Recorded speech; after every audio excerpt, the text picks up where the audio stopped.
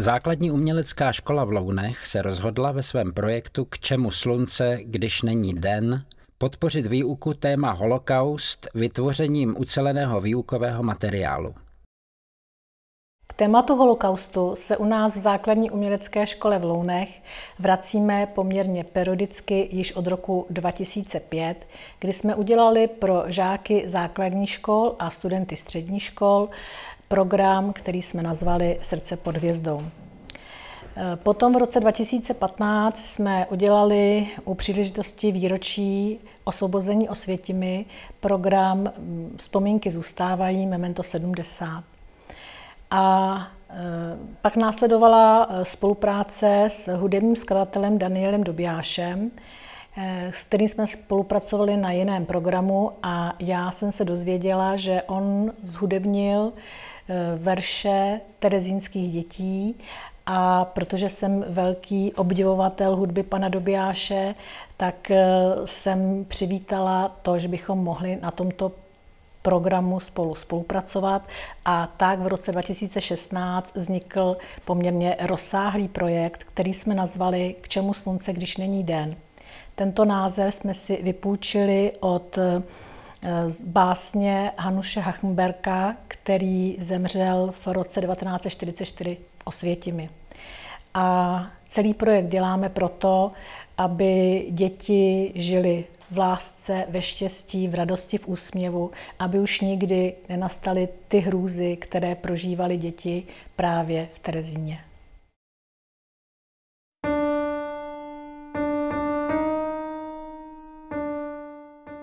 I tady žili lidé. I tady žili děti.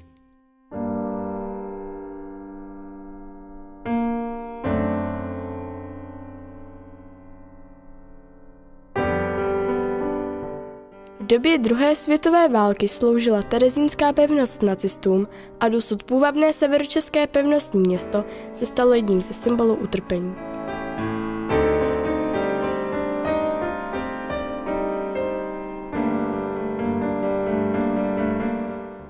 Malé pevnosti byla tragicky proslulá věznice pražského gestapa. Hlavní pevnost se stala židovským getem.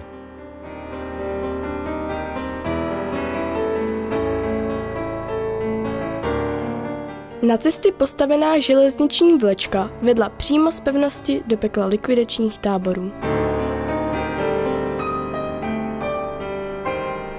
I tady žili děti. Ničím se neprovinili, jen v rodném listě měli napsáno žid. A na jejich památku, počest a vzpomínku vznikl náš projekt. Abychom nezapomněli.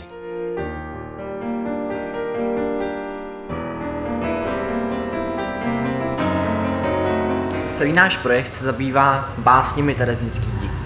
Můžete nám vy něco o terezínských dětech říct? Určitě nacházíme se v prostorách bývalé školy terezínské, eh, která v době okupace sloužila jako domov pro chlapce, pro chlapce, kteří eh, byli ve věku 10 až 15 let. Eh, za celou dobu, nebo eh, zdrželo zde až 300 chlapců eh, a mezi nejznámější obyvatele tohoto domova patřili chlapci z, z, z dětského domova nebo třídy, která se nazýva, který se nazýval Vedem. Byli to chlapci, kteří byli, podíleli se na vydávání dětského časopisu, eh, který se jmenoval Vedem.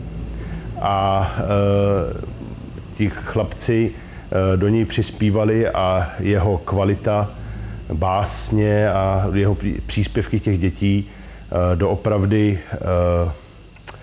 byly nad průměrné, vlastně převyšovaly tvorbu mnoha dalších dětských časopisů. Mezi těmi asi nejznámějšími můžeme jmenovat eh, Hanuše Hachenburka. Hanuš Hachenburg samozřejmě je jeden z mnoha tisíců, kteří eh, přijeli do eh, terezínského geta nebo byli spíše nuceně deportováni. Statistika je neúprosná. Za dobu existence geta přišlo do terezínského geta na 10,5 tisíce dětí. A ta, tragic, ta bilance je velmi tragická. Víme o tom, že 7,5 tisíce, nebo 7600, lépe řečeno, 7600 dětí, které, které byly deportovány odtud na východ, tak osvobozením se dožilo jenom 242 dětí. Celý projekt odstartovala 1. června 2016 výtvarná celorepubliková soutěž výtvarných oborů základních uměleckých škol na téma holokaust. Odborná porota vybrala na konci září 2016 66 nejlepších prací, které budou ilustrovat zhudebněné básnické texty v připravované publikaci. Škola také uspořádala výstavu všech zaslaných obrázků.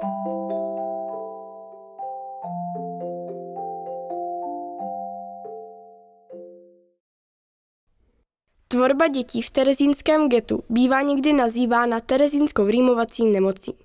Žízeň po střípcích normálního života, touha vypsat se, dosáhnout vnitřního osvobození ze zoufale hrozivé situace, to je podhoubí vzniku terezínské poezie. Fenoménu zvláštního, jedinečného a dodnes neuspokojivě zpracovaného. A právě verše terezínských dětí se rozhodl hudební skladatel Daniel Dobijáš zhudebnit. Ke spolupráci na zpěvníku a nahrávce si vybral Lonskou základní uměleckou školu. Pane Dobijáši, proč jste si vybral zrovna Lounskou základní uměleckou školu? Tak já nevím, jestli jsem si eh, to vybral já, spíš si myslím, že eh, jsme se setkali na vystoupení, myslím, že to bylo s paní eh, Fischerovou a Právě ta spolupráce mě velmi překvapila, že existuje tady v malém, menším městě teda škola, která je tak dobře vedená a má tolik žáků a poměrně e, velmi šikovných a myslím si, že to pro ty mladé lidi je ohromná věc do budoucnosti, že se můžou setkat a rozvíjet se e, intelektuálně i citově tímto způsobem. Hudební skladatel Daniel Dobiáš oslovil i umělce Ladislava Fré, Hanu Maciuchovou, Táňu Fischerovou, Jana Hrušinského a Karla a Nikol Heřmánkovi.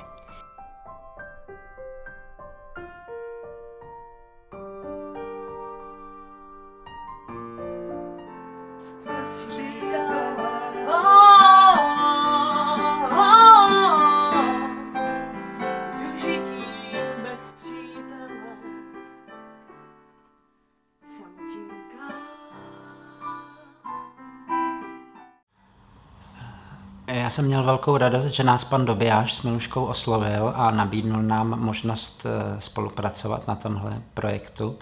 Eh, pro mě je to velice jaksi blízké a eh, citlivé téma, protože velká část naší rodiny z maminčiny strany Terezínem prošla a většina z nich se už nevrátili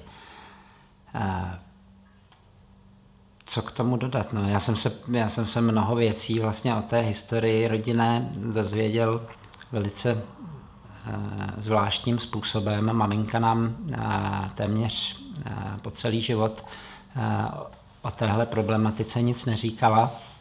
Myslím si z toho důvodu, že nás chtěla před tím zlem uchránit. A rok po její smrti nám přišel balíček s její adresou a byla to videokazeta, eh, která přišla z Ameriky z nadace Shoah od Stevena Spielbergera a na té videokazetě byla maminka a byl to hodinový rozhovor o, ho- o holokaustu. A eh, takže mm, víte, i z toho důvodu jsem moc rád, eh, že jsem se mohl tohoto projektu zúčastnit. Když byl každý tón vypilován, následovaly hodiny v nahrávacím studiu základní umělecké školy v Lounech. Pan učitel Jiří Soukup trávil celé dny a noci ve studiu u počítače. Souběžně s nahráváním CD dostávala svou podobu knižní publikace.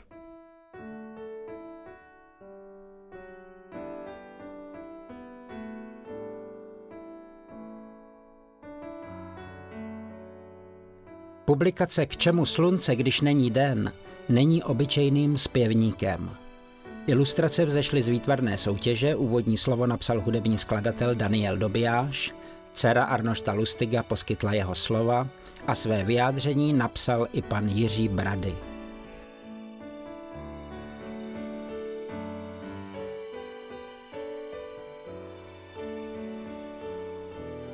Hotová kniha se rozletěla do světa. Zdarma byla distribuována do všech 490 základních uměleckých škol v celé České republice. Začala si žít vlastním životem. Vrchlického divadlo přivítalo 24.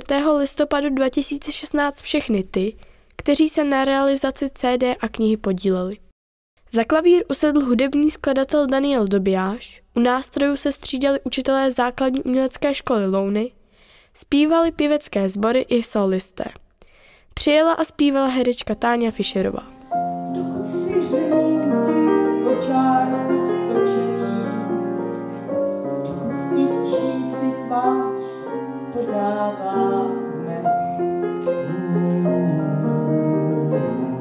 Tohle je vlastně projekt, kterým jsme začali spolupráci s Danielem Dobijášem. My jsme začali tím, že on zhudebnil texty dětí z Terezína a pak teprve jsme začali dělat všechny ty další projekty, takže tohle je náš nejstarší projekt. Já jsem právě věděla, že se dá zpívat jenom vzácně, že to není takový ten běžný chleba, ale za to je to nesmírně silný a já bych řekla, že to je moc dobře, že to konečně spatří světlo světa pro širší okruh lidí. V hledišti seděl i Karel Ellinger, syn židovského otce, terezínské dítě, které svou pouť po německých koncentračních táborech skončilo v roce 1945 v Dachau. Já myslím, že to je zcela zvláštní věc, že to nikde není na světě, kde to udělali, ta zásluha je obrovská. Já to slyším poprvé a jsem dojat, poněvadž vím, že za těmi texty, že to není jenom nějaká poezie nebo jiná věc, že tam je skutečnost a že ty děcka to prožívali. Učitelé základních uměleckých škol z celé republiky projevili o zpěvník veliký zájem a tak jsme se rozhodli jim jejich práci zjednodušit nahráním podkladového CD s instrumentálními doprovody k jednotlivým písním, které již vydaný zpěvník obsahuje. Také byla vyslyšena prozba o vydání notového materiálu v PDF. Překvapením pro zájemce je také další hudební CD s písněmi, které bylo upraveno a doplněno bonusovými skladbami naspívanými známými osobnostmi.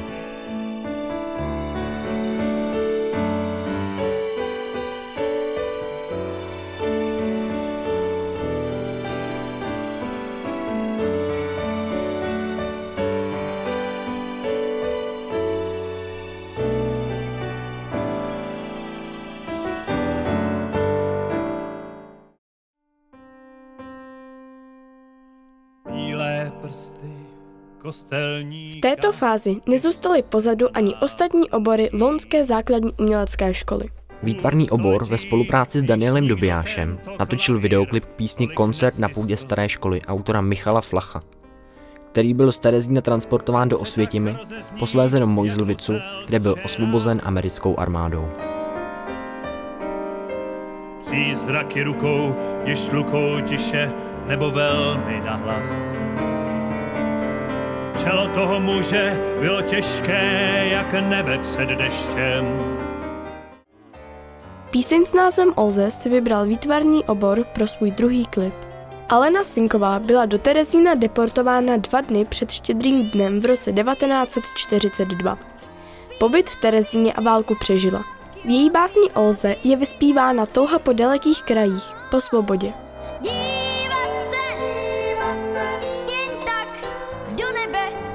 A myslet na fiálky. Na. Slyšíš? Slyšíš? Už je čas, už je čas. Žádné publikace ani obrazové materiály nesprostředkují tak silný zážitek jako osobní kontakt. Právě proto jsme se rozhodli uspořádat v rámci projektu K čemu slunce, když není den, výchovně vzdělávací koncert. Na programu koncertu spolupracovaly všechny čtyři obory základní umělecké školy s hudebním skladatelem Danielem Dobijášem. Interpretace písní z texty dětí z terezínského geta, scénický tanec, videoprojekce, verše, průvodní slovo, to vše umocněné vyprávění paní Doris Grozdanovičové, která čtyřletý pobyt v getu přežila.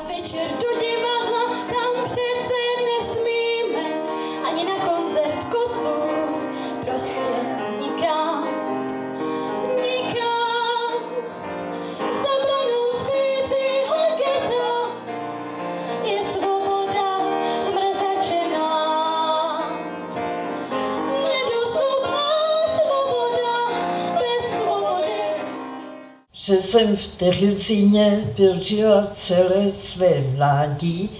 Jsem z Brna a my jsme tam přijeli s jedním z prvních transportů.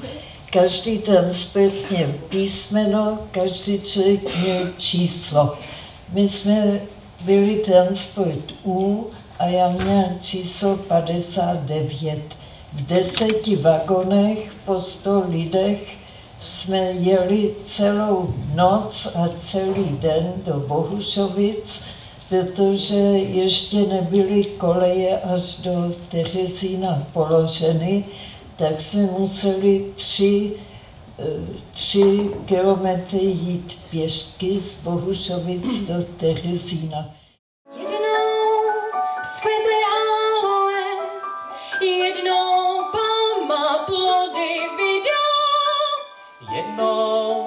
Co krušno je, jednou mine naše bída, jednou vyjde boží san, jednou, jednou zejde nám. Nejen Lonské vrchlického divadlo, lončtí školáci a veřejnost mohli zhlédnout náš program. Vyvezli jsme jej i do zahraničí. V září 2017 jeli žáci zpívat do Barendrechtu, Rotterdamu a Bruselu.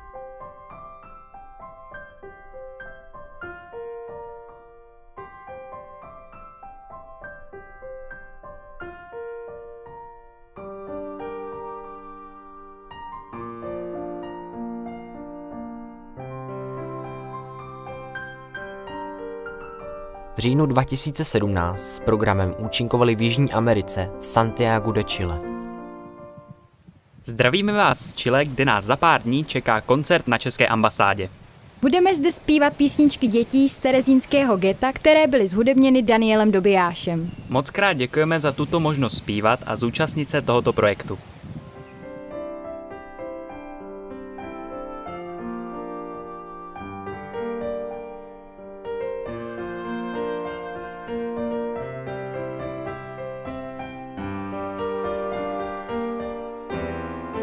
Umění je mezinárodní jazyk, kterému rozumějí diváci napříč národy. Bolestné a tragické téma dětských obětí válečných konfliktů není minulostí. Děti Shoah nebyly posledními válečnými oběťmi. Denně umírají stovky dětí v jakýchsi podivných sporech mezi dospělými. Proto jsme to všechno dělali, aby se nezapomnělo. I tady žili lidé, i tady žili děti.